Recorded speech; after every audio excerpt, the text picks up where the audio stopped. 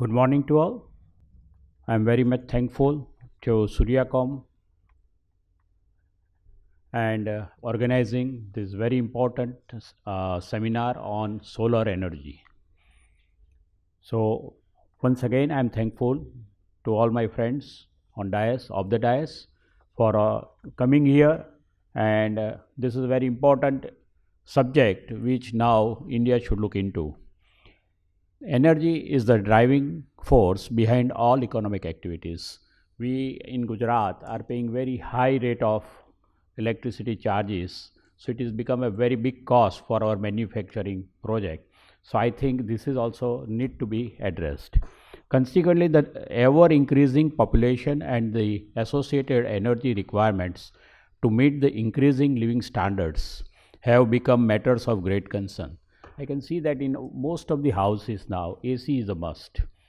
Few years back, AC was not that much required. But now the habit to our young generation, when they come into the room, they will first start on all the lights, put AC or fan on, and they enjoy. So I think this is also going to be a big consumption factor on energy. In particular, the ability availability of the suitable and sufficient energy sources, development of environment friendly utilization technologies, and the cost of energy have become extremely important factors needing immediate attention. In this context, several schemes have been proposed for developing new and solar energy technologies by the state government.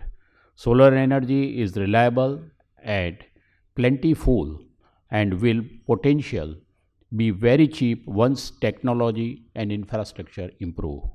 Fortunately, in India, in particular in Gujarat, we have a lot of sun available. I think after 12 months, 10 and a half months, we can have sun available.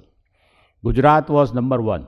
Unfortunately, we were the first in the country, but today we are sixth in the country because of our some state policy where it is being discouraged and that is why we are today sixth. So I give you the data. But now has been pushed to the sixth spot. Telangana is now largest producer of solar energy in the country. Statistics available in September 2017 show that Telangana leads with generating 2792 megawatt of solar power followed by Rajasthan, Andhra, Tamil Nadu, Karnataka and Gujarat is producing 1384 megawatt of solar. Telangana is planning to generate 5000 megawatt solar power in the next 2 year to 3 years while Gujarat has planned up for only 250 megawatt. Telangana is going for solar power in a big way to run the various upcoming irrigation schemes and industries in the state. Honorable Prime Minister of India, Shri Narendra Bhai Modi, has an ambitious goal of reaching 100 gigawatt of grid connected solar power by 2022 and making India a global leader in the development of solar energy. This will improve the estimated investment of about 100 billion US dollar. The government of Gujarat has also rolled out various incentives under the Solar Policy 2015 for the generation of solar power. In fact, there is also a separate subsidy for generation of rooftop solar power. The state of Gujarat also offers a subsidy of rupees 10,000 per kilowatt of installed capacity up to a maximum of rupees 20,000 per customer.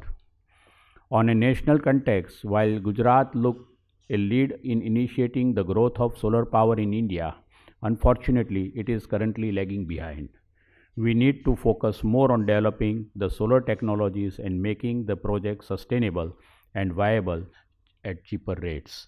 So, Gujarat Chamber has also taken up this with the state government that this is the need of the time because to save 2 3 coal based generator you cannot punish the industries of Gujarat and deprive solar projects and uh, we have also taken up with the honorable prime minister also that this is what is happening in gujarat and he after this election will definitely look into the matter seriously and solar we cannot ignore.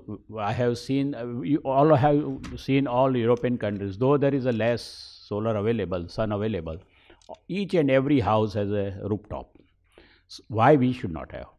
But the policy and the cost, of course, it has gone down substantially when it was uh, in the beginning the cost of solar was costly. Today it has come down substantially. Lot of availability in the market is there. Recently, day before yesterday, our uh, chamber rooftop is also we have ordered for a solar roof. So we as a chamber first have to do that. So we are also doing at our chamber level and we are promoting solar. It is a need of the time. I think it is a basic raw material cost reduction if you want to bring down. The energy is a big cost for the industry.